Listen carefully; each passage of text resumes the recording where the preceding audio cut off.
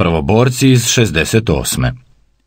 Zabrana knjige Živojna Pavlovića Ispljuvak pun krvi bio je samo jedan u nizu nesporazuma oko interpretacije domaćih studentskih nemira iz 68. koji su od početka najveća tabu tema naše taze prošlosti. Sudske presude liče jedna na drugu kao jaje i jajetu, sve u strahu da se nezrela javnost zaštiti od uznemirenja. Studentske demonstracije su za sada dobile tek nekoliko usputnih i neodređenih redova u istoriji.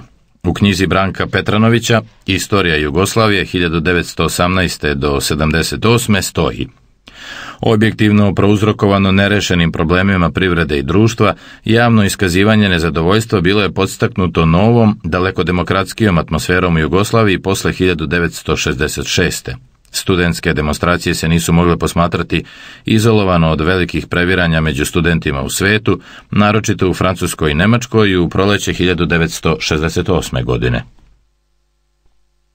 Strana 352 Studentska omladina u Jugoslaviji reagovala je na deformaciju društvu, na socijalnu polarizaciju nejednakost.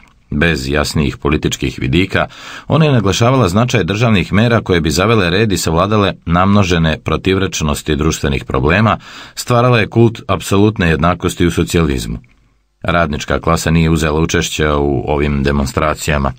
Raznorazni neprijatelji Jugoslavije i samoupravljanja nastojali su da dadu prevratnički ton studentskom nezadovoljstvu i iskoriste ga za izazivanje većih sukoba, dovodeći u pitanje kurs SKU. U školskim udžbenicima za osnovne i srednje škole nema ni toliko. Istorija se u njima mnogo ranije završava. Već su odrasle čitave generacije koje se maglovito sećaju kako su im roditelji rekli da je studentska banda krenula sa Novog Beograda i da je treba povešati na terazijama. Zbog tih nasilnika su im nekoliko dana zabranjivali da izlaze u park ili na terasu da se igraju. Ovo, na primjer, piše neko iz provincije, koje je tada u sitnim godinama proveo izvesno vreme u kućnom pritvoru kod tetke u Beogradu. Jedan put se iskrao i na ulici kupio vanredni jarko crveni broj studenta. Tetka ga je usplahireno sačekala na vratima i nije dozvolila da je to pogano đubre unosi u kuću. U sabranim delima Josipa Broza Tita štampan je njegov govor od 9. juna 1968. godine, koji su neki hroničari ocenili najliberalnijim govorom koji je šef jedne države do danas održao. Studenti su verovali da ih je Tito podržao i uzeo pod svoju zaštitu.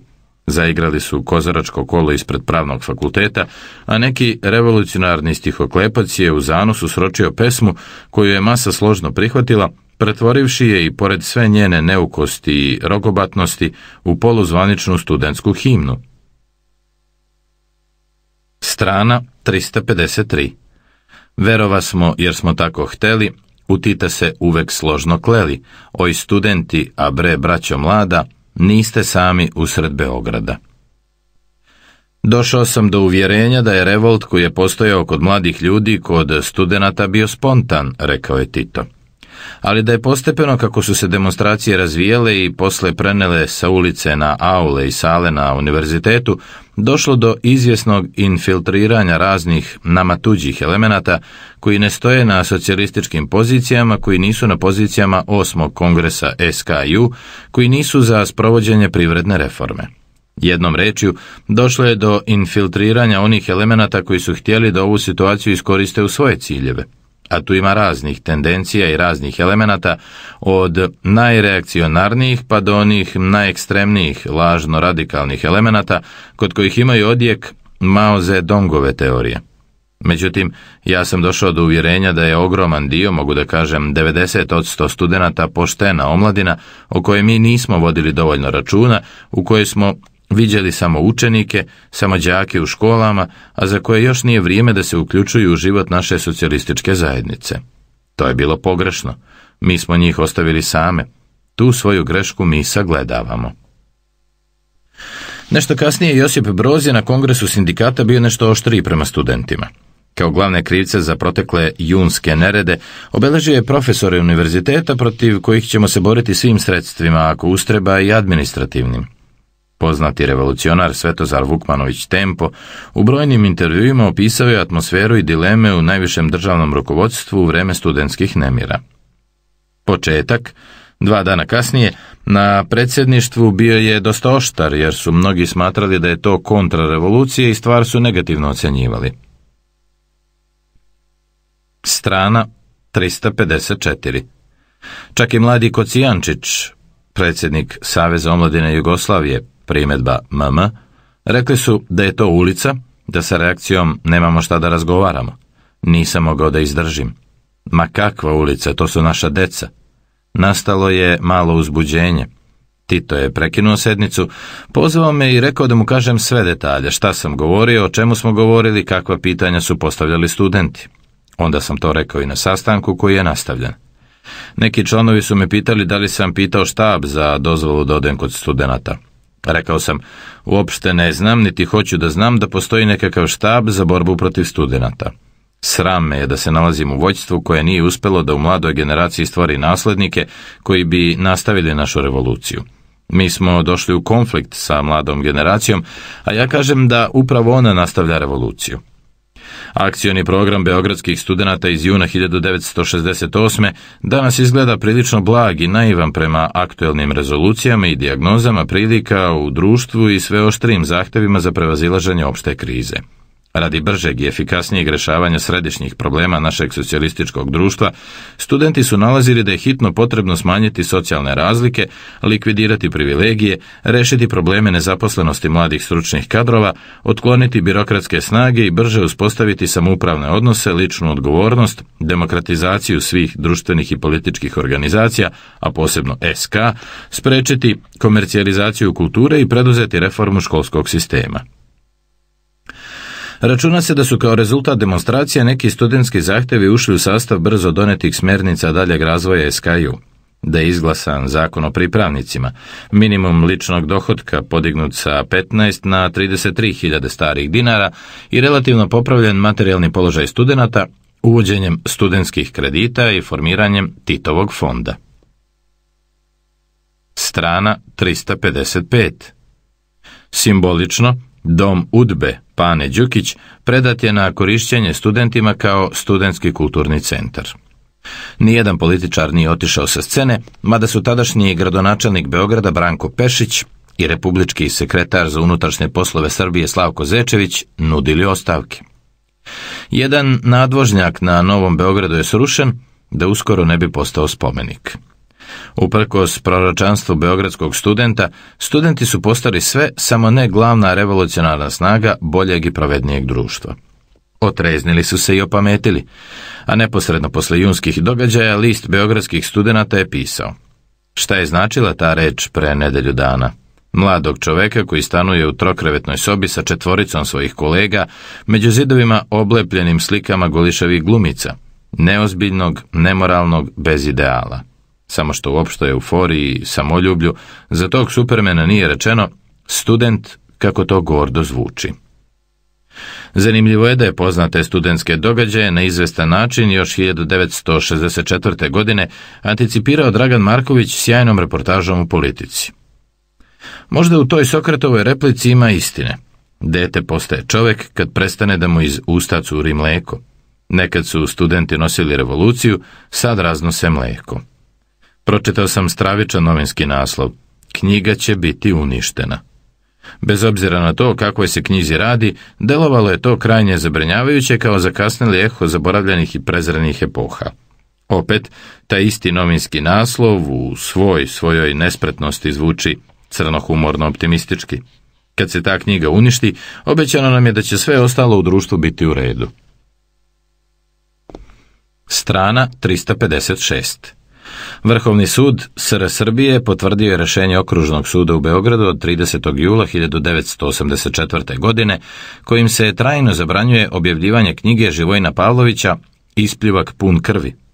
Prema sudskoj presudi ona sadrži alarmantne tvrdnje o studentskim zbivanjima 1968. godine koje mogu da uznemire javnost.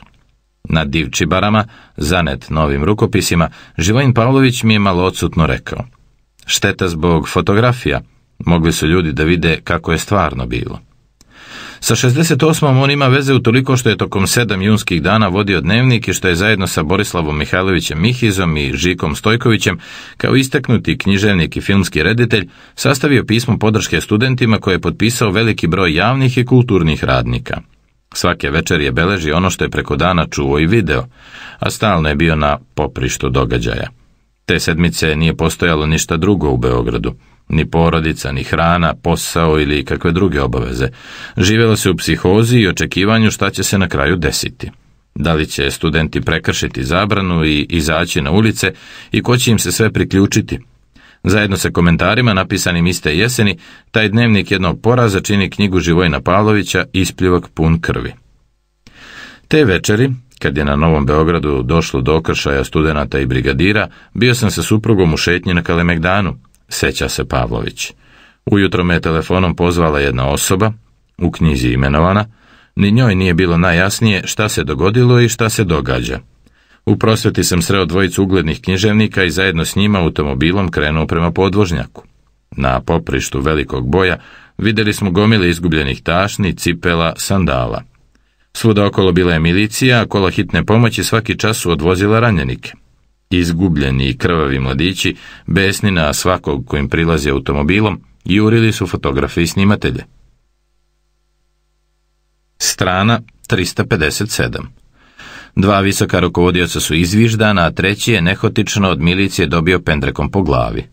U studentskom gradu su sa zvučnika treštale revolucionarne pesme. Od usta do usta se čulo, idemo na Beograd.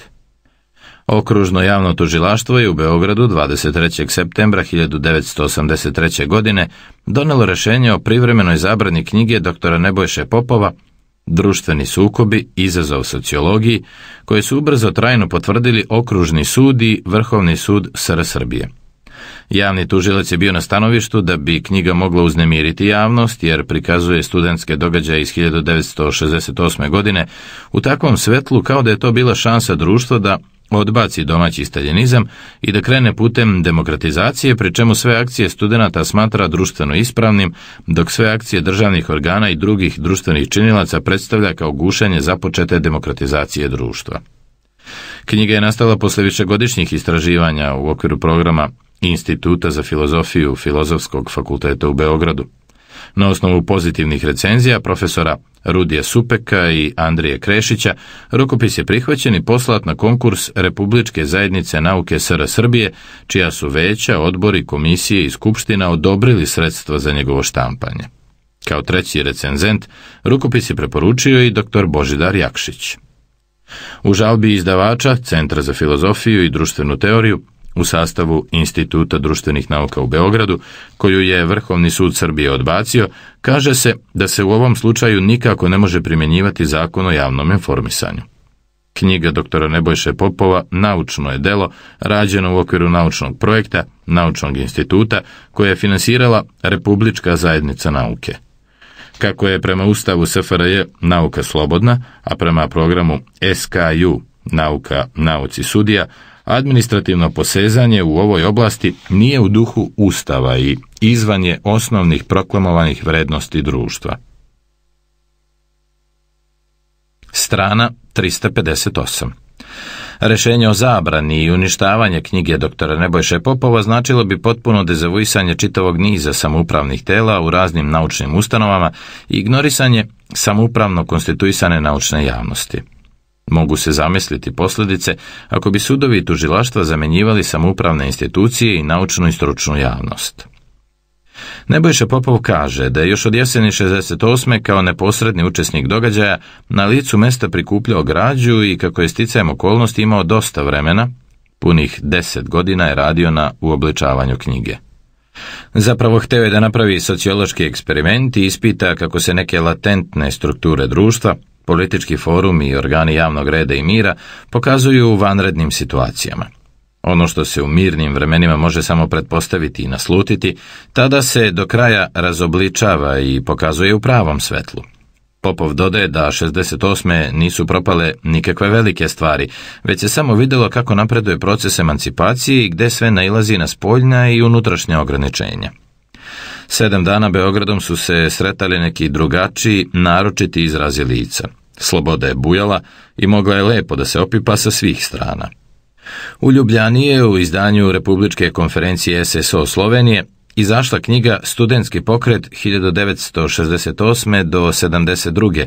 rad grupe autora u sastavu Ciril Bošković, Pavle Gantar, Marijan Pungartnik i Pavle Zgaga.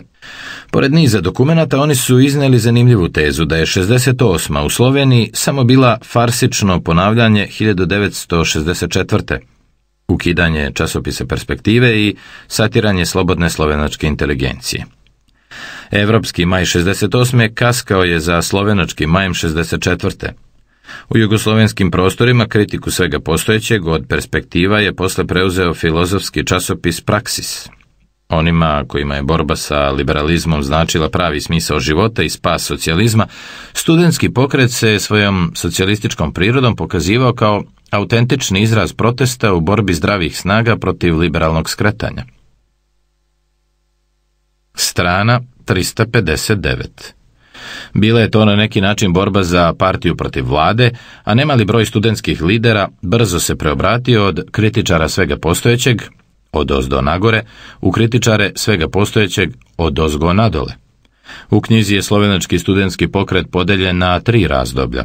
Sindikalističko, u kome su izneti cehovski zahtevi u ime studenata kao posebne društvene grupe i prosvetiteljske uloge inteligencije u razvoju slovenačkog naroda.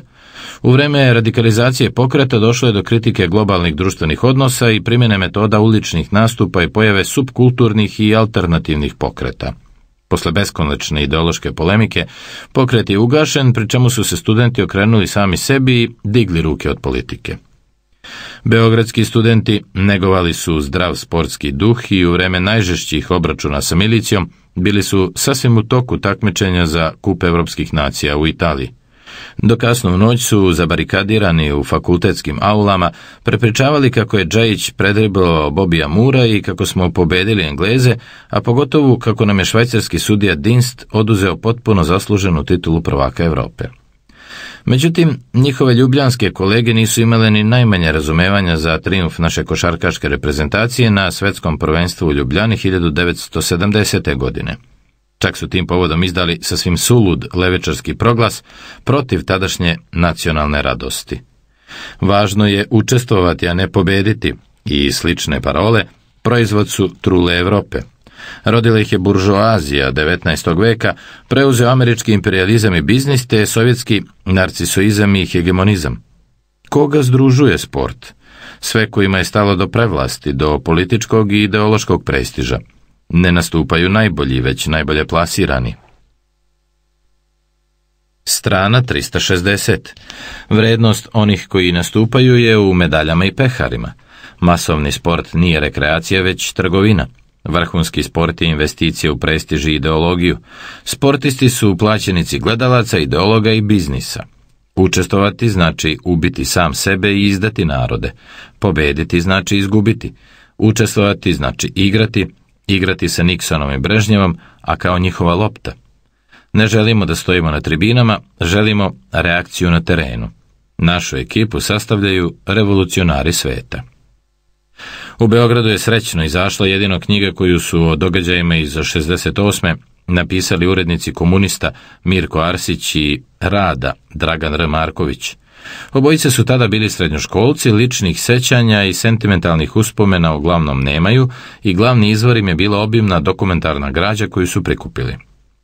U jednoj anketi studenta Mirko Arsić je nagovestio osnovnu ideju svoje buduće knjige. Savez komunista je ocenio da su zahtevi studenta opravdani, ali da je metod njihovog rešavanja, izlazak na ulice, u dubokoj nesaglasnosti s demokratskim duhom našeg društva. Problemi se mogu rešavati jedino samoupravnim i demokratskim putem, a ne putem pritiska.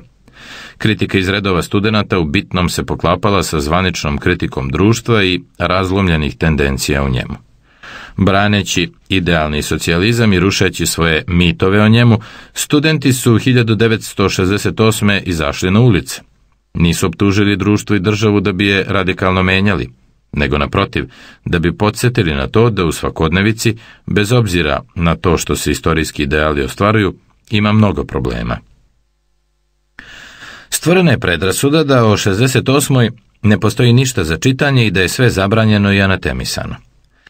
Dnevnim novinama u osudi demonstracija kao vandalskih ispada bandi huligana i od vlasti na vreme osujećenim neprijateljskim pokušajima, svojevremeno se bio priključio i list Saveza omladine Jugoslavije Mladost. Preovlađivali su naslovi Mlado žito i kukolj. Strana 361 Jedino je list Saveza sindikata Rad podržao studente, rekavši da su oni na sebe skrenuli pažnju kao na realnu društvenu snagu. Mladi su postali ono što uvek i jesu, savest društva koje im duguje puno poverenje. Jer poverenje u mlade, poverenje je u budućnost, u socijalizam. Zbog izrazito neprijateljskog stava, studenti su 68. napadali, spaljivali i na specijalni stup srama isticali odraslu štampu. Vanredni brojevi lista student izlazili su i bili zabranjivani svakog dana. Međutim, oslobođeni su naknadno, osim posljednjeg petog broja. Zbirka dokumenti Jun, lipanj 1968. pojavila se 1971. u izdanju Praksisa iz Zagreba, a posle dužeg spora pravosnažna je ostala zabrana dva teksta. Svuda bez problema objavljivanog akcionog programa beogradskih studenata i proglasa jedne struje zagrebačkih studenata. Oni su fizički odstranjeni i dokumenti su pušteni u prodaju. Trajno ili privremeno su zabranjivani mnogi listovi i časopisi sa tematskim brojevima i širim osvrtima na demonstracije. Vidici, gledište, razlog, delo, studentski list. Iz svega toga, kao i iz žestokih periodičnih javnih ili sudskih progona i kampanja protiv učesnika i napisa o već klasičnoj studentskoj pobuni, proizašlo je stanje duha da se svaki put kad neko na nekoga glasno vikne, to shvata kao zakon i malte ne sudska presuda, mada se i u tome svakako nije oskudevalo. U literarnim delima Borislava Pekića, Pavla Ugrinova, Vlade Jovičića, Miroslava Josića Višnjića, Momčila Selića, Mome Dimića, Lasla Vegela, radnja se ponekad odvija na fonu događaja iz 68. Slično je i u filmovima Kako sam sistematski uništen od idiota Slobodana Šijana i Vardljivo leto Gorana Paskaljevića. Želimir Žilnik, Mića Milošević i Dejan Đurković snimili su dokumentarce o lipanjskim gibanjima i za njih dobili nagrade na domaćim i međunarodnim festivalima. Ogromnu količinu filmskog materijala televizije Beograd zaplenila je policija. Strana 362 Žika Mitrović je imao ambicioznu ideju da snimi igrani film kako su našu 68. organizovale strane obaveštajne službe u okviru psihološkog rata protiv naše zemlje. Ta glupost je na vreme sprečena. O studentskom pokretu u Jugoslaviji pisao je čak i jedan strani autor, Ralph Pervan, Tito and the Students, izdanje Univerziteta Zapadne Australije 1978. Rušenje svih tabua oko 1948. i golog otoka izgleda da nije mnogo pomoglo da se i o 1968. godini razmišlja slobodnije i trezvenije. Uopšte, te dve godine često se dovode u vezu, iako se ni po karakteru ni po značaju ne mogu upoređivati. U zabranjenoj knjizi Žike Pavlovića, Ispljuvak pun krvi, na 50 stranica je objavljeno pismo i Beovca Nikole Čučkovića predsjedniku Titu posle Brionskog plenuma, u kome ga obaveštava o nečuvenim merama nasilja i odmazde koje su primjenjivali organi Udbe i Čučkovićeva podrška studentima u zahtevu za smenjivanje nekih rukovodelaca SUPA koji su zanat dobro ispekli na golom otoku. Isto tako, student je 1968. objavio tekst Lazara Stojanovića u kome se zalagao za potpuno pošumljavanje svih naših golih otoka. Šuma je u našem društvu od velike koristi. U socijalizmu šuma ima slobodarsku tradiciju i neprekidno se primjenjuje još od turske okupacije. Svetao lik šume ostaće zauvek u našim srcima. U Nobusu neprijatelji naroda iskusili značaj naših šuma. Šuma je naše najveće bogatstvo, koji ima drvenu građu, ne mora da tuca kamen. Nama otoci bez šuma ne trebaju, hoćemo drugačije otoke. Ne možemo da dozvolimo da se naš radni čovjek na otoku muči. Nećemo da čekamo da mu društvo dodeli drvo. Njemu treba hitna pomoć. Ima ljudi koji žele da otoci ostanu takvi kakvi jesu. Oni su zaboravili šta znače šume. Goli otoci smetaju svakom čoveku. Pošumljavanje zaloga srećne sutrašnjice – Dakle, napred u nove šume. Strana 363 Autor je samo zaboravio da svi oni koji dođu iz šume nikad ne zaboravljaju šumske prirodne zakone i uvek su nostalgični prema njima. Kad je nova studentarija pitala ondašnjeg glavnog urednika studenta, Đorđija Vukovića, kako je bilo 68. odgovorio je kratko. Uzbudljivo. Ako ne verujete, probajte i sami. Ni najmanje se ne osjeća kao prvoborac i memoarska dimenzija studentskog pokreta ga ne zanima. Happening je bio vladajući stil njegovog mladičkog doba, dok je sada kod mladih mnogo prisutnije okretanje tradiciji, stabilnim vrednostima i naciji, kao njihovom ključnom izrazu. Slepo se veruje u nepromenjivi poredak, autoritet, sigurnost, a protest izražavaju eventualno rok muzičari. U stvari, čak i onda kad se toliko verovalo u ulicu kao mediji za izražavanje političkog nezadovoljstva, u studentu je izašao tekst Nebojše Popova sa obeshrabrujućom tvrdnjom da su trgovi za trgovine i političko pozorište. Ni tada nisu svi bili naivni, znalo se dobro da su demonstracije događaje pretežno na emotivnom i ritualnom, više obrednom planu, posvećenje generacije. Ne vređaju ga suviše ni zajedljive aktuelne aluzije da je ondašnje studentske ideje o jednakim stomacima i istom kazanu za sve, posle u kampući efikasno i monstruozno realizovao Pol Pot, Đorđe Vuković je sa svoje strane miran. Nije dozvolio da u studentu izađe nijedan tekst protiv tržišta, iako je normalno bilo dosta i takvih želja. Prvoborac iz 68. Ljuba Stojić kaže da su svi tada do kraja odano pripadali sistemu. Nije bilo disidentstva, osim, razumljivo, poraženih i dotučenih neprijatelja revolucije. Svako je bio najsrećniji ako je bio u stanju da društvu i domovini bude od koristi. On lično tek se bio vratio iz Amerike i trudio se da izmisli originalan način za ispitivanje domaćeg javnog mnjenja. Strana 364 Tradicionalne ankete izgledale su mu prevaziđene i građanske, pa je tražio novi model samoupravne socijalističke ankete. U svakom slučaju, 68. je prvi put makar nejasno izražena sumnja u uvozno i kreditno blagostanje koje nas je okruživalo. Želje za demokratijom, kosmopolitizmom i trajnim uključivanjem u napredne evropske narode brzo su pod direktnim patronatom tadašnjih republičkih političkih rukovodstava prerasle u besmislena nacionalna iživljavanja koja su bila samo motorna snaga na osnovu koje su njihovi naručioci obilato sticali vlast i moć. Od tada je sve manje opšte jugoslovenskih ideja koje nisu dočekane na nož kao težnjaka unitarizmu i hegemoniji najbrojnije nacije.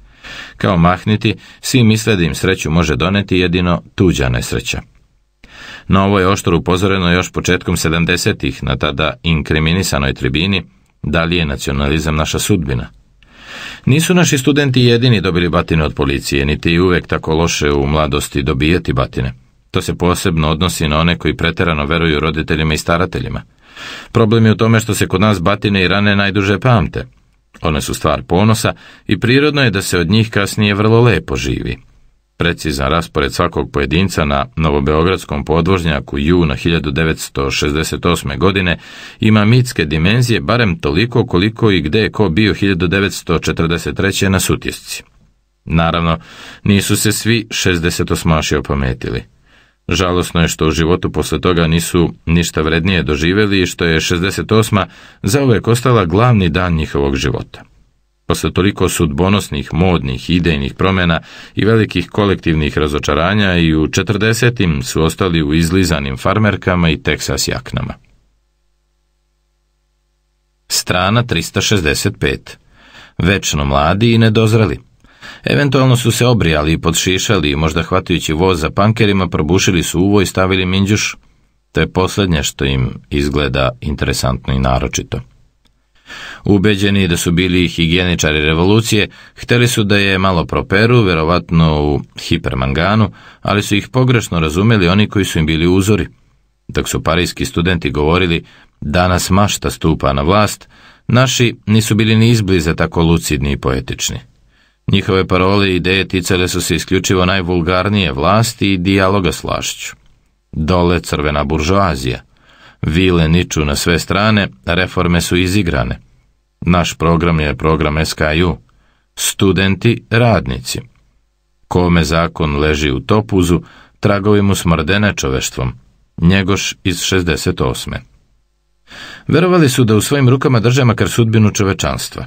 Na filozofskom fakultetu formulisani su radikalni studentski zahtjevi da su oni dobri i da ne misle ništa drugo nego oni protiv kojih su ustali. Na pozorišnoj akademiji Ljubiša Ristić i Laza Stojanović postavili su znatno pre Vorena Bitija na pravu uličnu scenu deset dana koji su potresli svet Johna Rida. Boljševizam je uopšte bio veoma u modi, a glavni politički i prevratnički aduti bili su mantilji i kačketi, karakteristični za Trockog i sudbonosna rečenica Đeržinskog. Drugovi, situacija je ozbiljna, ja tri dana nisam spavao.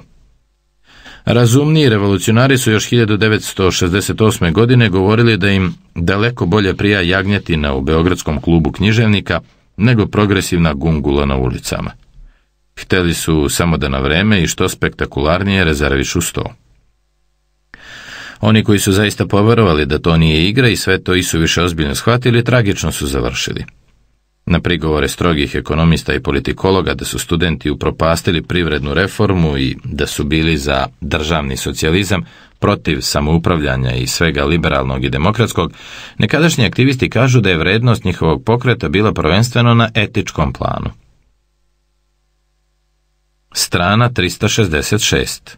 Izborili su bar pravo na pobunu i neposlušnost. A niko kao oni nije verovao da živi u najidealnijem društvu na svetu i potpuno je razumljivo što su tražili da im se ta bezgranična vernost što pre isplati.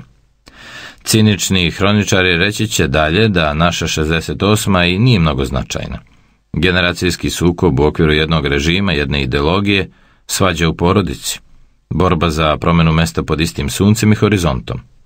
Otuda i toliko suđenja i zabrana. Od inkvizicije do današnjih dana najviše žrtava palo je upravo u verskim ratovima i obračunima, u utvrđivanju čiste vere i progonu jeresi. Lako je nevernicima, nemaju ništa zajedničko sa crkvom i ako ih Božja kazna istigne, to će biti samo njihova privatna stvar.